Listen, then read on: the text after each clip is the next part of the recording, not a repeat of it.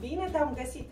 Mă numesc Andreea Văsi și alături de Asociația Copii spre Viitor voi vorbi astăzi despre momentul în care avem foarte mult de învățat și nu știm cum să ne organizăm.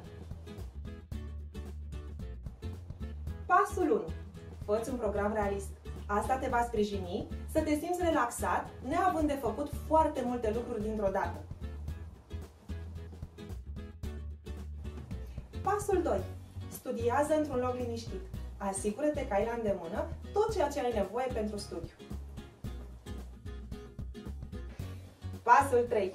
Îndepărtează orice sursă care te poate distrage de la studiu. Cei care învață fără distrage au rezultate mult mai mari. Pasul 4. Fă sport sau măcar o plimbare înainte de a începe să faci temele. Acest lucru îți ajută creierul să se oxigeneze mult mai bine, ceea ce duce la un randament mult mai mare. Pasul 5. Folosește pentru studiu tehnici de învățare variate. Acest lucru te ajută să reții pe termen lung informația pe care tu o înveți.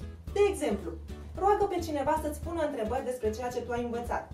Sau povestește tu altora despre lucrurile pe care tu le studiezi. Ia-ți întotdeauna notițe. Pasul 6. Acesta este preferatul meu. Ia-ți pauză la 30-40 de minute de studiu. Creierul nostru obosește și se plictisește în momentul în care ne concentrăm prea mult. Pasul 7. Odihnește-te noaptea. Acest lucru ajută informațiile pe care tu le-ai învățat pe timpul zilei să se fixeze în memoria de lungă durată. Vă mulțumesc pentru interesul acordat și vă invit la cursurile pentru părinți, temele copiilor, bucuria părinților. Mai multe detalii găsiți pe site-ul nostru. Succes ca în tot ceea ce învățați să vă regăsiți pe voi înșivă!